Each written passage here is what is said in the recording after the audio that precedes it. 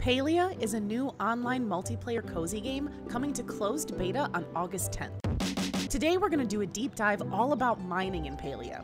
Whether you're a seasoned miner seeking new techniques or a beginner eager to strike it rich, this video is your ultimate guide to the best mining spots and also maximizing your ore haul. Mining is a great way to upgrade your tools and start gathering those all important resources to advance in the game. To maximize your efficiency, bring a friend along. Palia is a very community focused, so when you're ore hunting with friends, everyone that's gotten a chance to swing at the ore will get their own loot pile, and your share isn't diminished at all if others are joining in. Mining with a group means you get the same amount of ore for just a small fraction of the focus cost. What's focus? Unlike other survival exploration games, Palia does not have a stamina mechanic.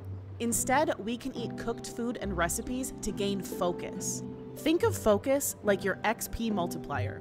You don't need focus to mine, fish, hunt, or chop wood, but it does help you level up your skills faster. In the early stages of the game, stone, clay, and copper will be your focus. All three of these resources can be found right here in Kilima. My favorite spots to check for copper are along the coast, surrounding the mayor's estate, and south of the Remembrance Garden. Copper will also randomly drop silver ore.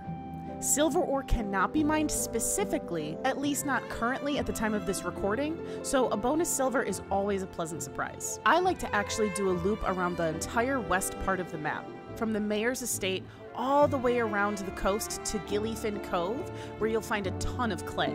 And then you can circle back home or stop at the stable in Leafhopper Hills to travel to Bahari Bay for our next resource, iron. After you've upgraded your pickaxe to at least a standard pickaxe, you can head over to Bahari Bay to find iron at the base of hills and mountains. And of course, the Pavel Mines. Sometimes iron ore will drop a bonus nugget of gold ore, this is similar to silver and cannot be mined on its own. My speedrun strat is to teleport into Bahari Bay Central Stables and then immediately fast travel again to Pulsewater Plains. Try to catch a few bugs along the way to sell, and you'll easily make back the 75 gold that it costs to fast travel. After you've upgraded your pickaxe to at least a fine pickaxe, I like to focus on the few areas that are rich with not only iron, but also the highest tier ore currently in the game, Palium. Palium can be found higher up in the mountains and also in the upper level of the mines, as well as in the mountainous areas of the flooded fortress. To put it simply, get climbing. Once you've reached level 8 mining, you'll also unlock an ore compass. This gives you a buff for 15 real world minutes that allows you to see the location of any ore on your HUD compass at the top of the screen. Keep in mind, this shows every ore location, so if you're specifically on the hunt for Palium, your ore compass will also be flooded with the location of iron ore. What's your favorite skill to hone in this coziest of MMOs? What should we do a deep dive on next? Let me know in the comments, and if you're still waiting to enter the magical world of Palia, sign up with my referral link in the description to unlock a special free in-game furniture item. Thanks for watching, and I'll see y'all in the next one.